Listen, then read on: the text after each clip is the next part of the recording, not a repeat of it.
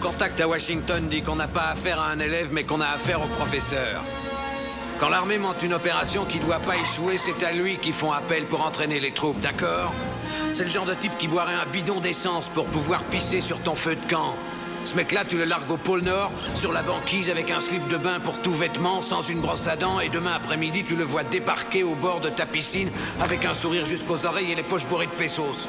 Ce type-là est un professionnel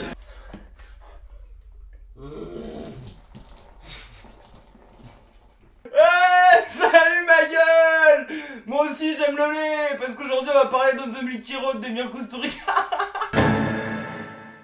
Auteur, musicien, acteur et surtout réalisateur des excellents La vie est un miracle, Underground ou encore Chat noir, chat blanc. Onzième long métrage réalisé par Emir Kusturica. Ça me donne envie d'écouter de la musique manouche, tout ça. Mais alors c'est peut-être la seule envie que me donne le film parce que franchement, c'est ni de la haine, ni de l'amour, c'est une déception. Alors évidemment, le père Emir, il a toujours le feu sacré. Des idées visuelles de dingue, un casting de gueule, des décors naturels magnifiques. Mais ça suffit pas Nous refaire la même que la vie est un miracle À quoi ça servait? Franchement, l'amour plus fort que la guerre. Oui, certes c'est beau, c'est universel, mais il nous l'a déjà resservi et je l'ai déjà entendu ailleurs aussi.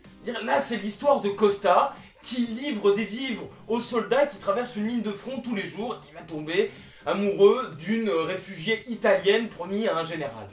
Et ils vont s'enfuir ensemble parce qu'elle est recherchée par la milice. Très bien. Le gros problème du film, c'est que ces qualités-là que je viens de citer, on les retrouve dans ses précédents films et là il n'arrive pas à les transcender. Moi j'ai jamais été un grand fan de Monica Bellucci, donc je trouve que ce qu'il lui demande c'est quand même relativement simple et qu'elle explose jamais, c'est que Monica Bellucci qui fait des sourires, qui pleure, etc. Mais on voit pas le personnage derrière elle. Et c'est aussi le souci du film, c'est que les personnages secondaires n'existent pas et que les personnages principaux sont un peu ternes. Donc du coup, mettre un casting de gueule, ça suffit plus quoi. Dire, c'est pas parce qu'ils ont tous de la gueule, ils ont de la gouaille, etc. que ça fait le film. Non, faut les diriger, faut en faire quelque chose, faut en donner de l'épaisseur. Et il donne ni de l'épaisseur aux personnages secondaires, ni aux deux personnages principaux. Lui, bon, il a deux expressions du visage, on dirait rit quand il se brûle, bon euh, voilà, c'est Emir Kusturica, mais il n'y a jamais la petite étincelle quoi. Donc lui il est pas folichon, et elle, elle fait le strict minimum quoi, donc voilà.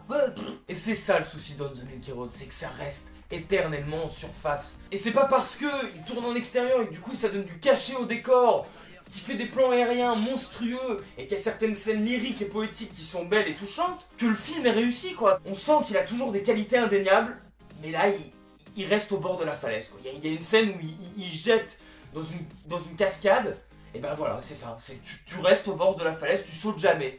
Eux ils sautent dans le film, mais le réalisateur ne saute jamais, ne franchit jamais le pas. Ça reste euh, plat quoi.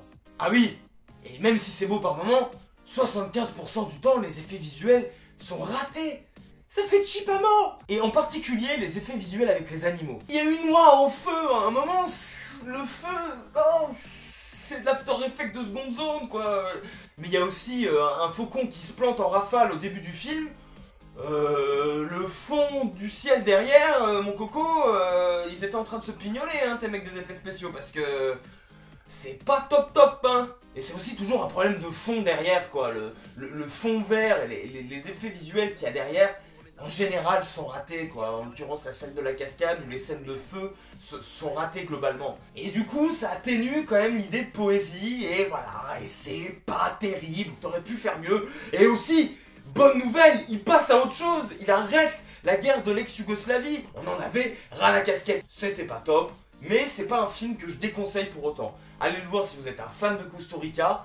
Pour les autres, très honnêtement, attendez ce qu'il fera après. C'est un film à réserver quand même aux inconditionnels de Costa. J'en suis un, mais euh, je pense que les inconditionnels eux-mêmes trouveront pas ça folichon. La septième critique sauvage, c'est terminé pour aujourd'hui, ma gueule. On se retrouve la semaine prochaine. Des bisous partout. Allez Qui sont-ils pour me faire des procès Qui sont-ils? Est-ce qu'ils étaient à ma place en pleine jungle Ils nous jugent, sa faute ils parlent. Oh la vache, je baigne dans le lait.